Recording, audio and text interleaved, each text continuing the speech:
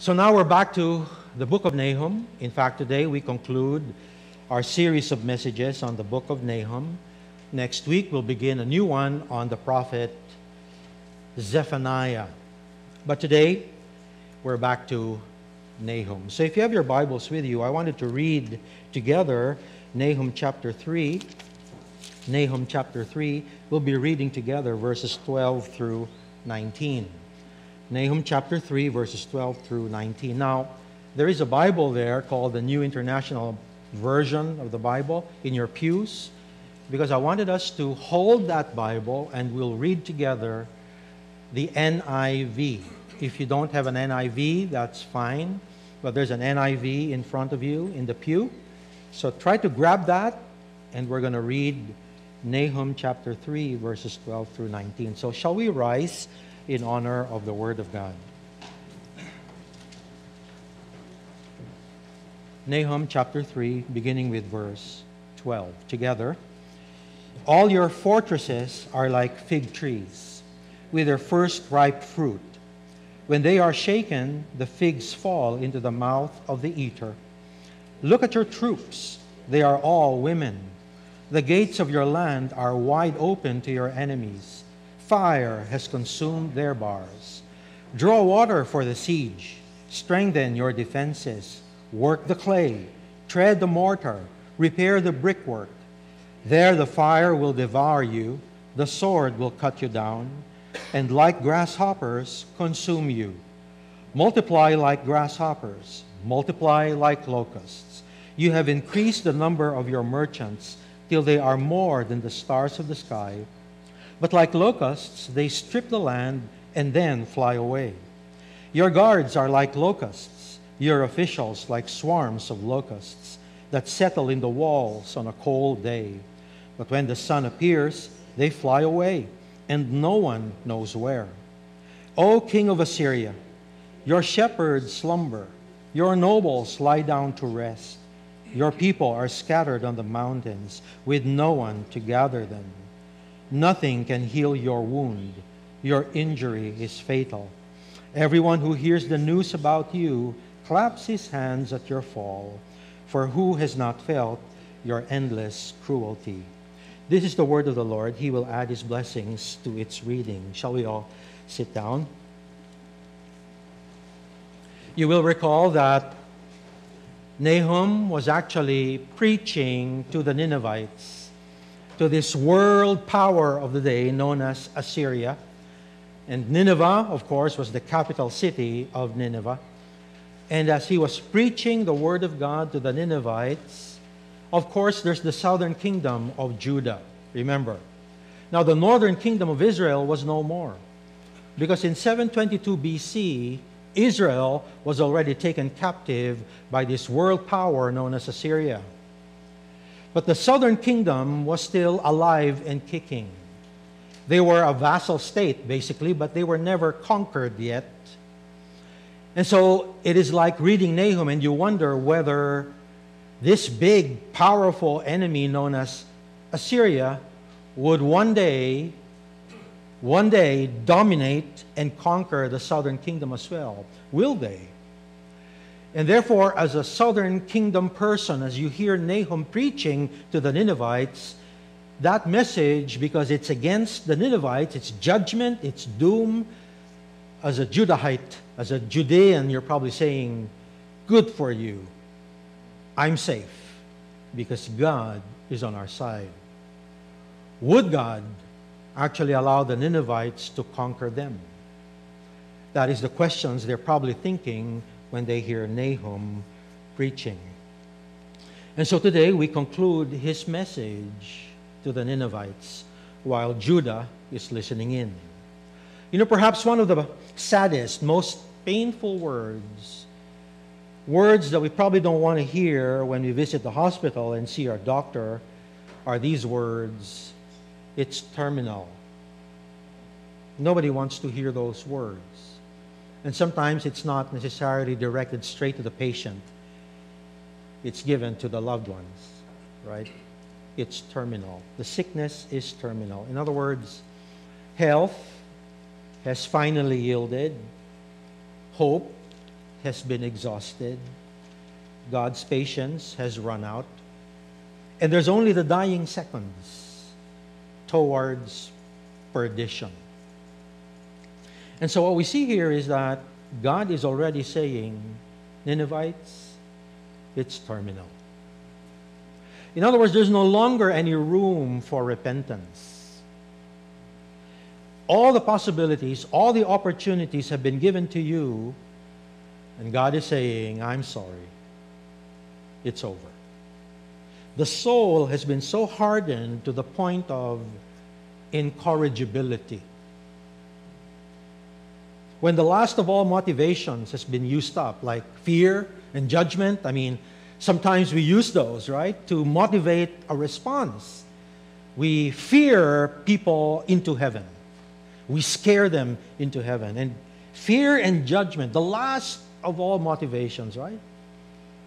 And the spirit remains brick hard, then we know that the destiny of hell has been fixed on the GPS of life. And no one can change that destination nor reverse that destination, even though we may take a detour. That GPS is going to reroute and it's still going to take you to perdition. See, God is the one who said it in the first place. And He will not contradict Himself. Vengeance is underway. And so the question for us is this when vengeance gets rolling, the ensuing drama, what does that look like? When God's vengeance is actually unveiling, if it's rolling, what's it going to look like? For us and for his enemies, well, there's four things I wanted to share with you when God's vengeance begins. The first is simply this defeat is going to be easy, no sweat. Look at verse 12. All your fortifications are fig trees with ripe fruit. When shaken, they fall into the eater's mouth. Now, ripe fruit is literally the first ripe fruit. Strictly speaking, it's the first fruit and it's the earliest yield of the tree, regardless of its species. It's the first fruit. It's the first of the yield. It's the first of the season. And we understand that late figs actually are picked up. They ripen in August and September. But the first fruits of the fig tree will come ready to be picked at the end of May and in June. So it's in May and June that people actually see this first fruit. Now, it's a well known fact that fruit that matures quickly, ripens early in the season, they drop more easily than the latter fruit. I just noticed that in our lemon tree back in our place when he first came, he said, Wow, look at all those fruits. Wow, it's so nice to see those yellow lemons. And the next day, they're all dropping. They're all on the floor. I said, What happened? Well, they're the first ones. But now we still have lemons, and they don't drop anymore because they're the late ones. You see, the ripe fruit, the first fruit, they're easy to pluck. In fact, sometimes you just shake the thing and it drops off. So, what do we see?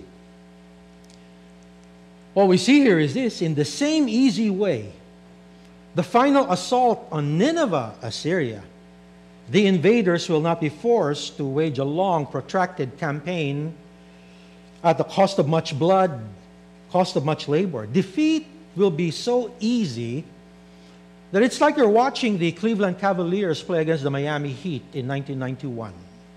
Some of you weren't born yet. But in 91, do you know how the Cavs devastated the Heat?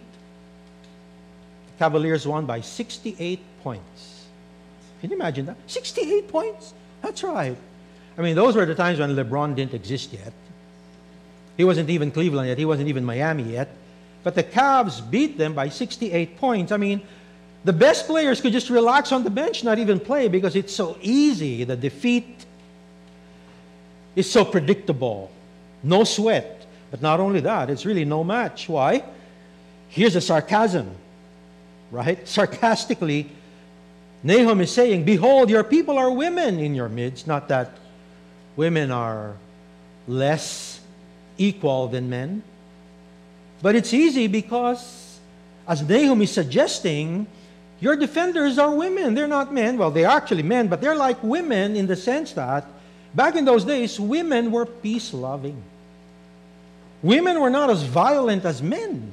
In fact, women shun violence at every instance, and therefore, what Nahum is saying, well, you're soldiers who should be the bravest and the ones ready to spill blood.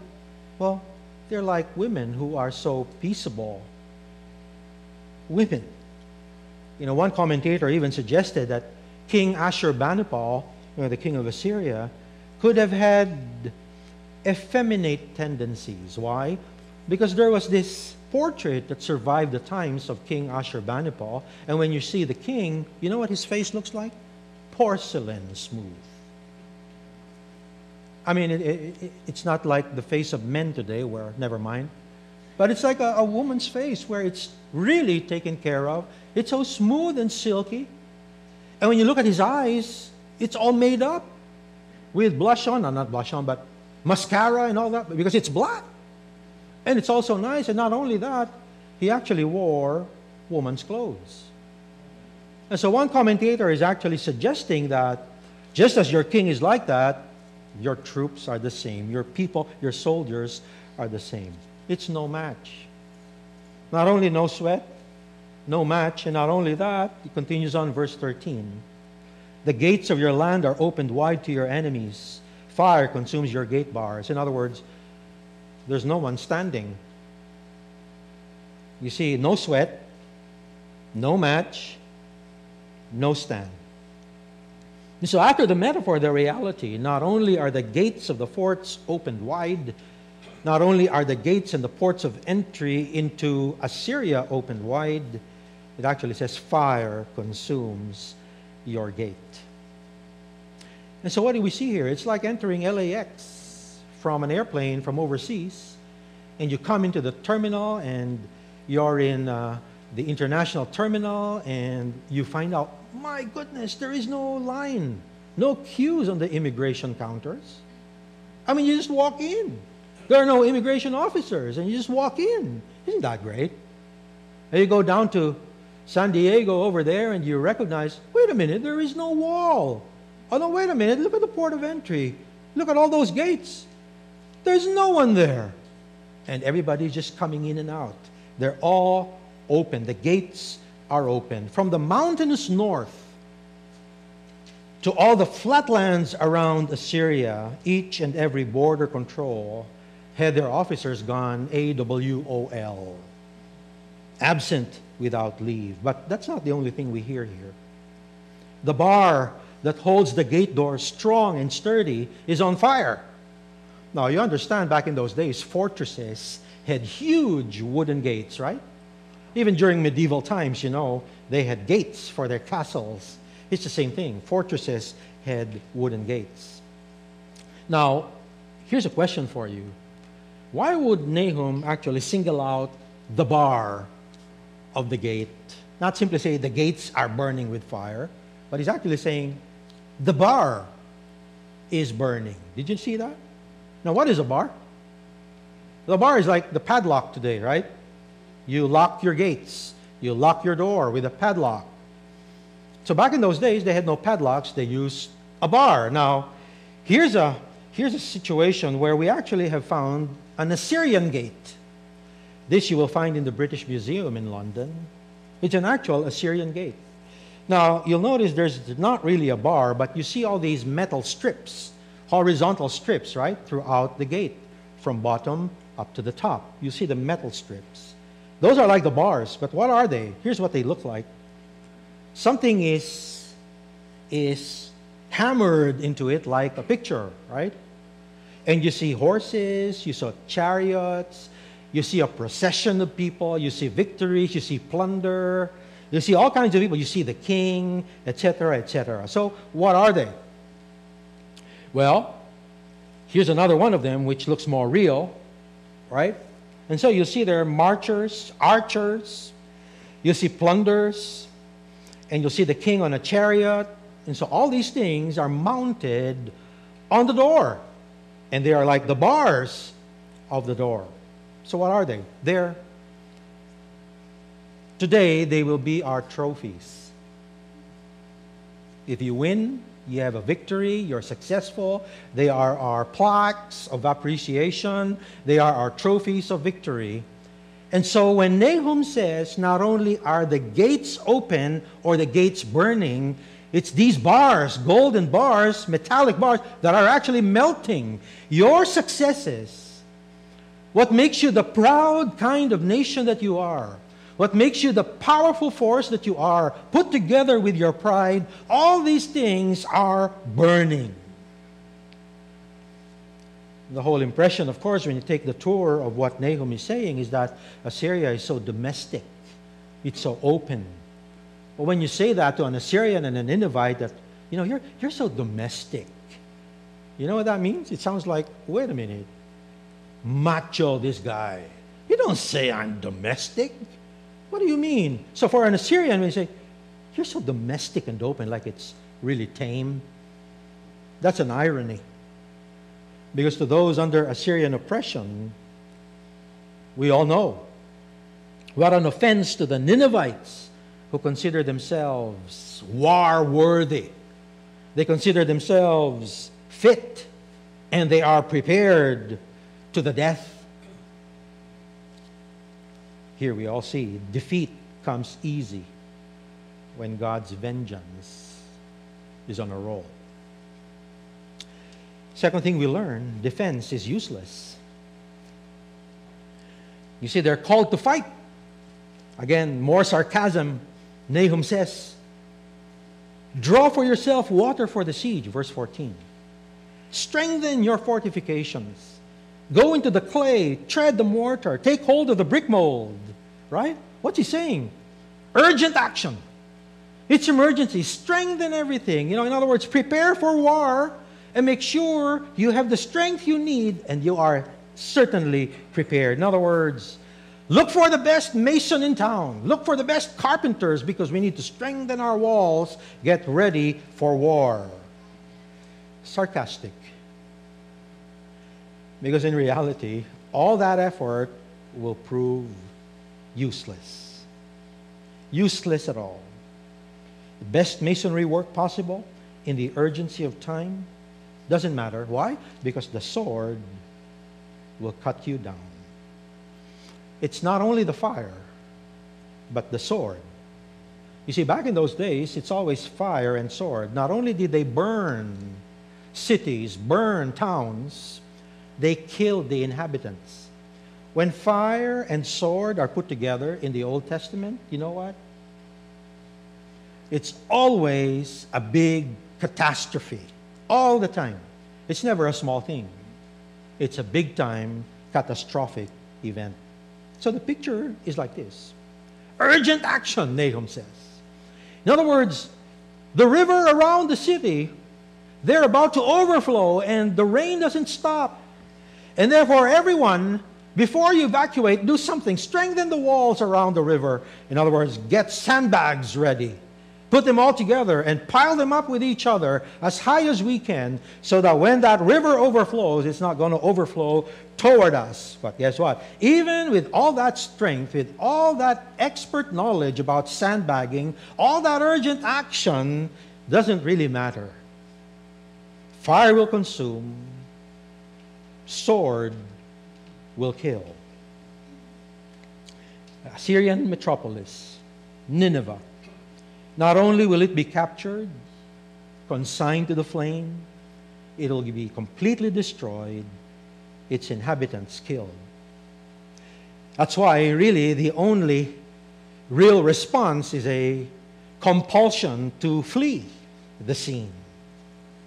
And so, look at what Nahum continues to say. Verse 16 You have increased your traders more than the stars of heaven. The creeping locust strips and flies away. Your guardsmen are like the swarming locust. Your marshals are like hordes of grasshoppers settling in the stone walls on a cold day. The sun rises and they flee, and their whereabouts is not known. Now, what's Nahum trying to communicate here? You see, it's a very well known fact that Assyria has grown to be such a powerhouse They've reached as far as Cappadocia in Turkey or Asia Minor back in those days, the empire. They've reached as far as the Caspian Sea to the north of Assyria. They've gone as far east to what we know today as Iran. All of that were under the power of the time that is Assyria. And here we find three kinds of people. They're known as traders, guardsmen, and marshals. At least in the New American Standard Bible, that's what it says. They're traders, business people, they're guardsmen, soldiers, and they're marshals. And marshals are probably the, the scribes and the lawyers of the day. So what's going on? Nahum is saying, you know, your business people, your economic drivers of the day, you know, they're like fleeting grasshoppers. Now, when you look at a grasshopper or a locust, if you look at it just one, say, oh, this thing is cute. You know, sometimes you can catch them. But you multiply those, and they become swarms. Nakakatakut. No, I mean, it's a fearsome thing to see swarms of locusts and grasshoppers because the amount of devastation those little things can do together is just massive. I mean, they can raise a whole agricultural land in hours and everything is gone simply by flying through them, these swarms, and everything is gone.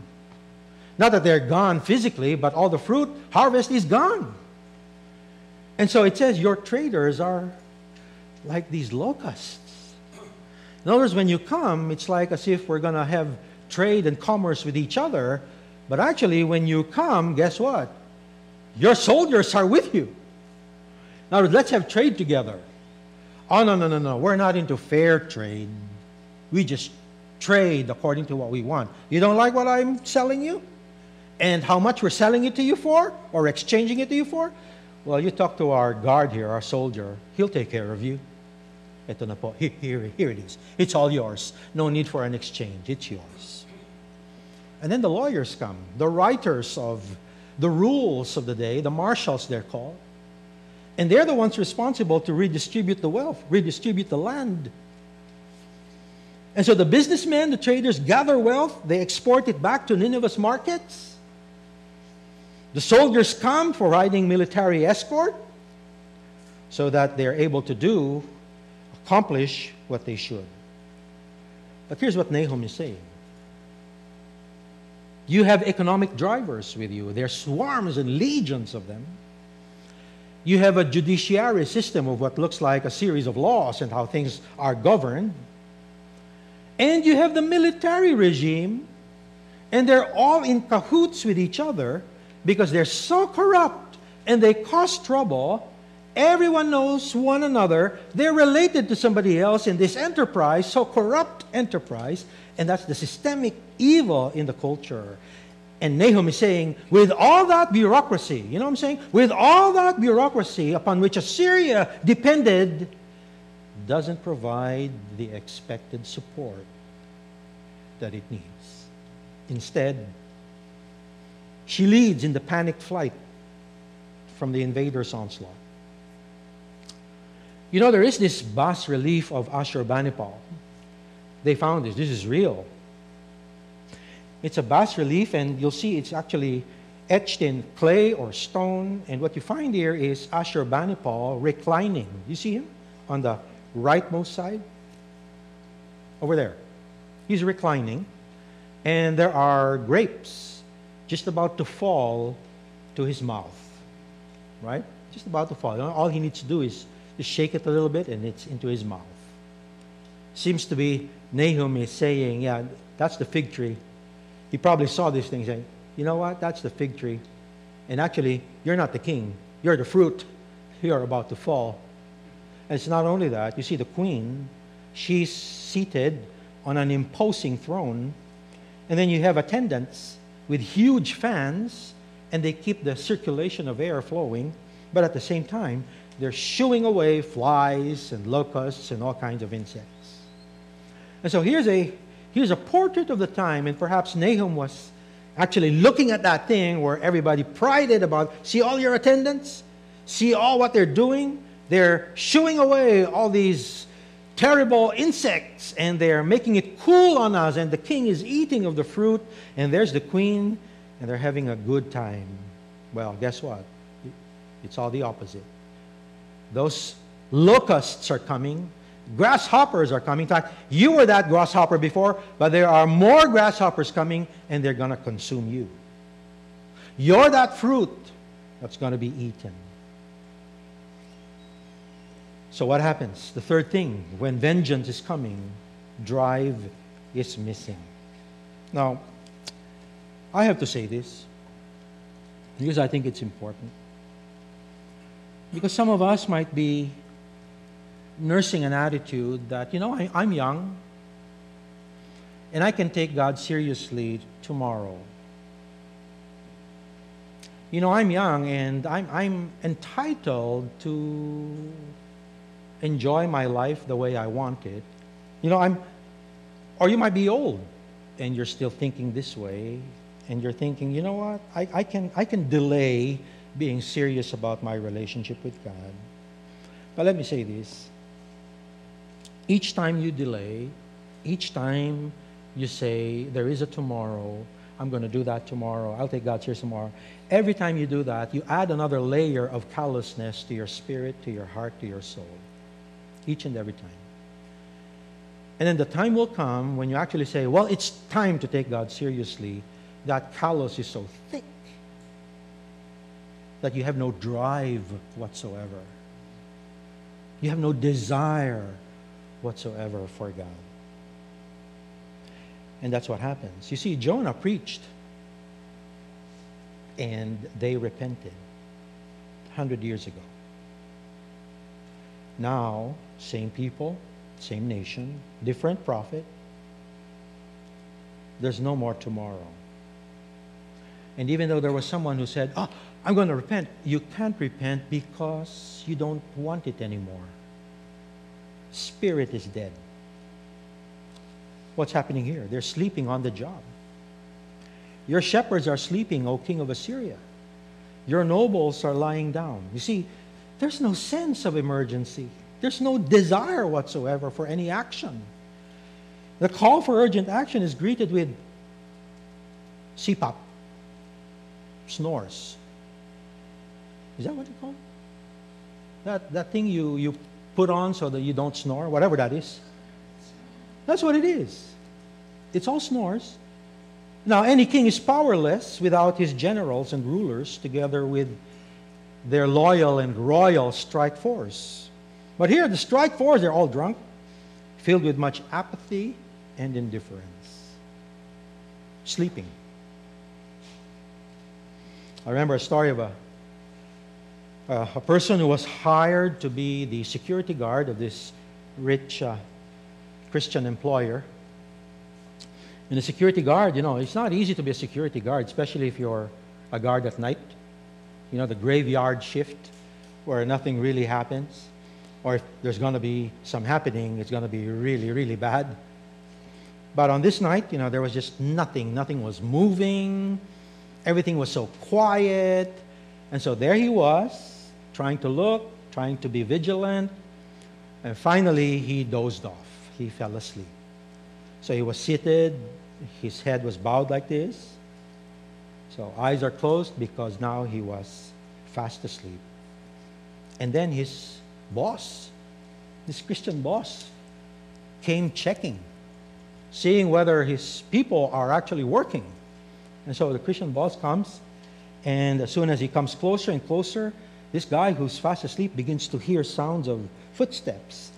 And then he opens his eyes a little bit and still looking down. He says, I know that shoes. Oh my, that's my boss's feet. And I am asleep. And so he simply says, In Jesus' name, amen. oh, boss, how are you? You know, he must be a Filipino security guard over there. Sleeping on the job, that's what they were. There's just no desire, no drive whatsoever. Sleeping. There's more to this, right? There's more to this. Splintered all across. Your people are scattered on the mountains. Again, people, same word in verse 13. Your troops Your troops are scattered on the mountains. And that phrase can actually mean your troops are trying to catch their own breath. And so in that case, they've been running. They've been running in all directions like a pack of cats running away. It was impossible to herd them back together. Totally impossible. You know what they do? They call in sick for that day, but only to be found on Facebook enjoying a holiday in the mountain resorts. You know what I'm saying? Sir, uh, I don't feel well today. But over lunchtime, you see a post on Facebook. Say, What's he doing over there? They're scattered on the mountains. In reality, they're scurrying up the mountains because that's their real hideouts. They are supervisorless, it says, shepherdless. There is no one to regather them, the Bible says. It was impossible to herd them. There was also nobody found to get the job done. And so the king's generals went missing in action. They're probably the first to evacuate, just like the captain of the ferry in South Korea that capsized some three years ago. You remember? Sewol ferry disaster in South Korea, where there were more than 400 passengers, and most of them were teenagers because they were having a field trip to this resort island, Jeju. And it sunk. And you know why it sunk? I don't know why it sunk. But you know who's the first to abandon ship? The captain. That captain, of course, is in jail now. The first to abandon ship is like the, is like the generals. When the going got tough, they were the first ones to abandon and they were lost. Well, why not? They're the ones who have the helicopters. They're the ones who have the means in order to get lost really quickly. Right? And so what do we see? There was no one to command the panic stricken people. Reminds me of Jesus' compassion when he saw the people from the Mount of Olives looking down to Jerusalem who were like sheep without a shepherd, compassion. But you know what, Jesus, if Jesus were here, he would look at the people having no shepherd, running all over the place. You know what? He's going to clap his hands because it's vengeance time. Repentance time is no longer available. There is no longer any opportunity for repentance. It's all vengeance. And therefore, Jesus, if he were here, of course he's not, he hasn't been born yet. Finally, here it comes. Nineveh wiped out forever. A complete end of that nation has come. Day of rebuilding, day of restitution, never to dawn. And so, this vast, corrupt, violent, arrogant, imperial machine of Assyria, which looked so infinitely powerful as a locust swarm, it simply disappears overnight. And so the final word to them is this when God's vengeance is on a roll, disease is terminal. There is no relief for your breakdown, the Bible says. Your wound is incurable. That word breakdown, of course, is breach. In other words, the breach in your walls can never be restored. That injury that you have can never be healed. It has atrophied, it's gangrenous. It can never be saved. By the English Standard Version says, There is no easing your hurt. And the message put it this way You're past the point of no return. Your wound is fatal. It's malignant, it's terminal. You want to say, tsaka na lang? Even those words you won't be able to utter. And therefore, all who hear about you will clap their hands over you for on whom has not your evil passed continually? Hopelessness to one people, happiness to another people. See, there remains nothing more except to pronounce a brief funeral lament over the Assyrian king, whose generals sleep the sleep of death, whose troops are scattered, and whose doom, doom is greeted with delight greeted with derision by all because everybody rejoices to be free from this evil regime. And so when you read Psalm 47, first two verses, it goes like this Oh, clap your hands, all peoples. Shout to God with a voice of joy, for the Lord Most High is to be feared, a great king over all the earth. He subdues peoples under us and nations under our feet. In other words, those words affirm the sovereignty, the power, the authority of God to overthrow each and everyone who will attempt to oppose him. Whatever nation that is who opposes God, whatever person he or she may be who opposes God, overthrow when vengeance comes. There's this famous Irish cleric and politician. you remember? Pastor, politician. Wow, unheard of. His name is Dr. Ian Paisley. You may have heard of his name. But he was reported to have been preaching one Sunday on the day of judgment. And as he reached the climax of his sermon, he said that on the day of judgment, there would be wailing and gnashing of teeth. At which point, of course, an old woman held her hand and, and said, uh, Dr. Paisley, Dr. Paisley, I have no teeth. And Paisley replied, Madam, teeth will be provided on the day of judgment. It will be provided. So the question for us is this. Since there's no doubt that God avenges, since there's no doubt that God is a God of justice, since there's no doubt that God will not let evil go unnoticed, what do we do? If God is an avenger, what do we do? There's two things we need to take heed of. The first is a word of comfort.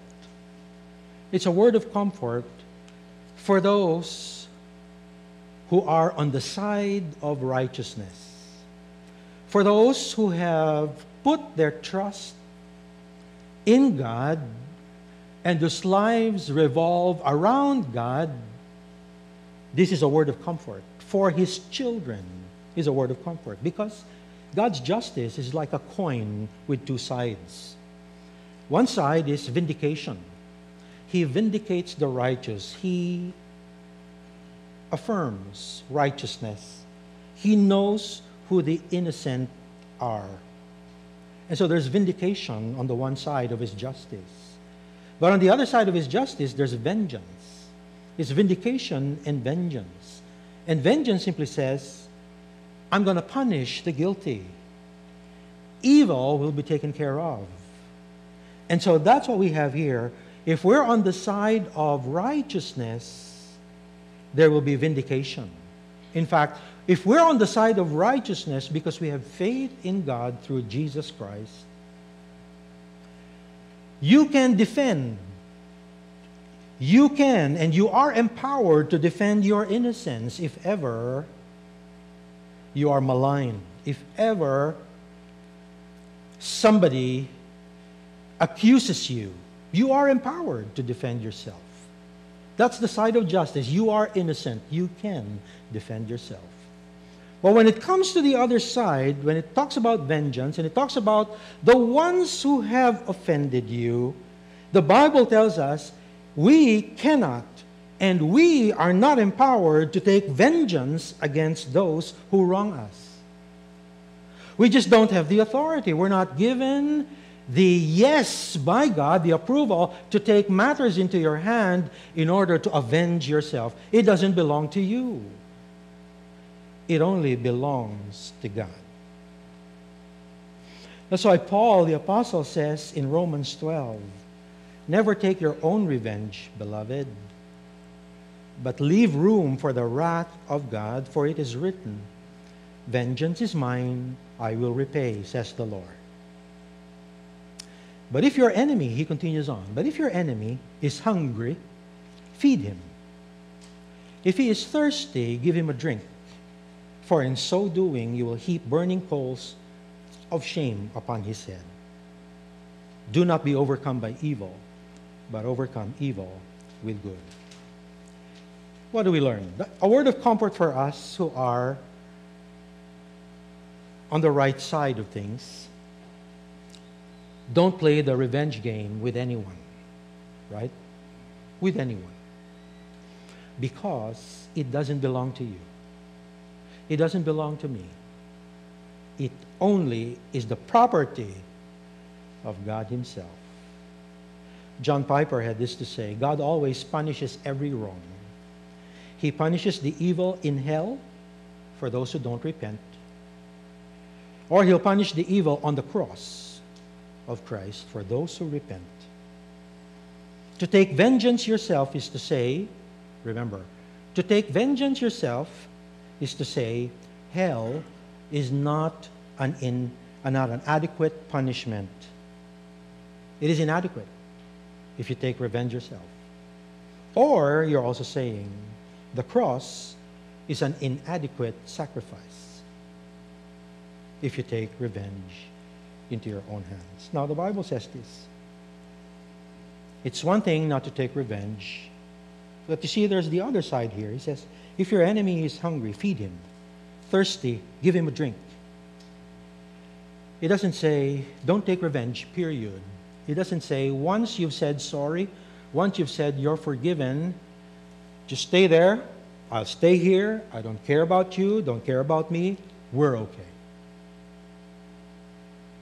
Bible doesn't say that.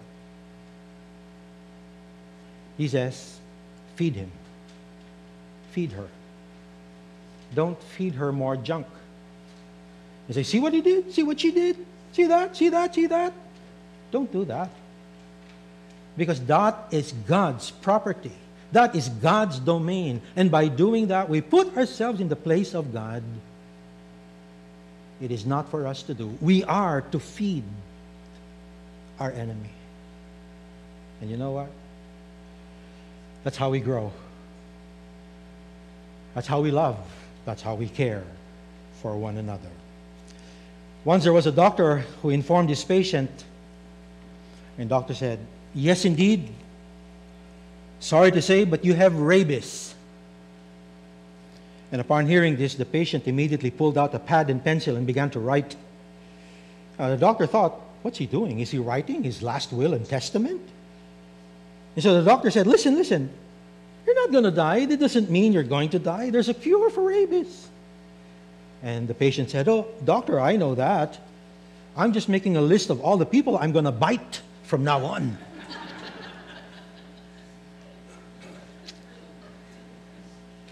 Many people live by that rule, unspoken. Don't get mad, get even. And God tells us vengeance belongs to me, not you. It's also a word of caution. And what do we mean? You see, the book of Nahum ends with a question, right? And there is no other book in the Bible except another one that ends with a question. Do you know which book that is? Only two books in the Bible end with a question. Nahum is one, the other is Jonah. That's right. Jonah is the other one. And they both went to Nineveh and actually preached the message to Nineveh, but it's the same message, basically, judgment, but there's a different response. One responded and said, I repent of all my sins. Your God is right. Nahum preaches almost the same message, but they don't repent. There's no more room for repentance. God's vengeance is here. You see, here's the lesson. That's why it's a word of caution. Don't play games with God. Repent like the people in Jonah's day. Otherwise, the alternative is vengeance. You see, we're in a far better position, of course, than the people in Jonah's and Nahum's time because from this vantage point, we know about Jesus Christ. We understand that God judged Jesus on behalf of sinners so that all who repent and trust in Jesus Christ will escape the day of his vengeance. It's as simple as that. God loves each one of us, but he's also a God of justice. And therefore, in order to treat you and me the right way, love and justice is to still pour out his vengeance on sin, which he did in Jesus, so that the righteousness of Jesus might be ours. Dear friends, the question is what are you trusting in? What are you depending upon when God judges you? In what are you placing your confidence? Is it the confidence of power, water, fortresses, power, money? Are you trusting in yourself? I'll take care of myself. I know where I'm going. I'm the captain of my soul. No such thing as God, no such thing as judgment. Fine. What are you trusting in is the question today. And to bring that to the core of our souls, let me give you an illustration of a game show called the Million Dollar Drop. And in this game show, I think it's classic of how we think concerning our trust. Put yourself in the position of a contestant. And at the outset of the game, you're given a million dollars. At the outset. Here's a million dollars, it's all yours. But you have to finish the game. So what you do is you try to preserve as much as possible the million dollars, right? But there's always a question that you need to respond to. Question and answer. And in every question, for every question, there's four possible answers, but only one right answer. The three are wrong. And so you see here four different drop boxes for answer one, two, three, and four. And what you do with a million dollars is you try to guess which is the right answer, and then you divide your million dollars accordingly. Because for the wrong answers, so three of these drop boxes, if it's a wrong one, it's going to open, it's going to suck all that money, it's gone. Make sense? And so there's a question, that's a hard question. Hmm. I think I'll put half of it in box A, drop box A, because I think that's the right answer. But I'm not sure. Maybe we should put some in box B, or maybe a few more in C or D. At least we have something. Right? That's actually what we do in life when it comes to faith. And the question is simple what are you trusting in? What are you putting your confidence in in life for your ultimate, eternal salvation? Is it the box of good works? I'm going to put a little bit there. Or maybe I'm going to trust in my power. I'm going to trust in my possessions. I'm going to trust in what I have. I'm going to put some in there. Or maybe I'm going to trust in religion. I'm going to trust in what my parents say. Go to church, do your thing. As long as you're in church, you're fine. I'll trust religion. I'll put some in religion. But there's one box that says Jesus alone. And you say, you know, I've heard that message before. Jesus alone saves. So maybe that's the right answer. And therefore, I will put much of my trust in Jesus. But I'll also put some on good works, just to make sure. And you know, when you put some of those in other options, all those boxes drop the money, and there's nothing left. Because the Bible says if you add more to Jesus, he doesn't work. It must be Jesus alone and Jesus fully. And so, what's the message? Repent today. If you haven't made that decision in your life to finally surrender it all, not tomorrow, and say, Lord, I'm going to take you seriously from now on. If you haven't made that decision, there might be no tomorrow. Or there could be a tomorrow. But your heart could be so hardened that you don't even entertain the thought of that question anymore. What is it to you? Let's pray. While our heads are bowed, eyes are closed, I just want to give you that moment where maybe you hear the voice of God right now and you say, Lord, I've heard you. And I know I've been playing around with my life. And now I've heard you loud and clear. And here I am, I surrender it all to you. Giving my life fully to you, never again to play games with you. If that's your prayer, I want to pray with you, lead you into a prayer. Is there anyone here? Raise your hand while eyes are closed, heads are bowed. I want to say, Lord, here I am. It's all yours. Is there anyone?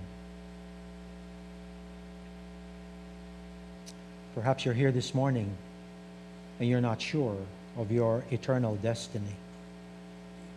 You're not sure that if something happens today and your life is snatched, that you're actually going to be with Jesus. And you need salvation.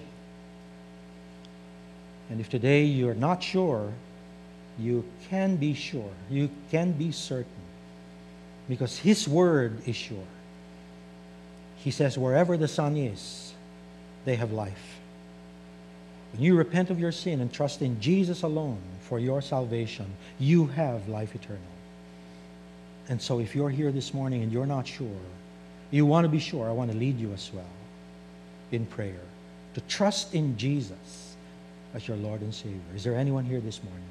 Would you raise your hand? Anyone? Final call. Let's pray. Father, we thank you for your word. We thank you that indeed that great exchange has happened in our lives. That because of your love for us, you sent Jesus to carry the weight of our sin, the punishment of our sin, the power of sin, so that my sin would be punished and his righteousness might be credited to my account. Thank you that it is not by works, otherwise, cursed are we. Thank you, it's not by religion. It's not even by tugging on the coattails of mom and dad or lolo and lola, grandfather, grandmother. But it's a personal choice. And so thank you. Thank you for salvation. Thank you that indeed we have comfort in this world because you will not, not let evil go unpunished. And so, regardless of our circumstances in life, whether we're treated fairly or not, whether we're victims of injustice, we can look at the cross and glory that Jesus too was a victim of injustice. And yet he left everything to God for vengeance. So thank you, Lord. Thank you for the great assurance and gift of life eternal. In Jesus' name, amen.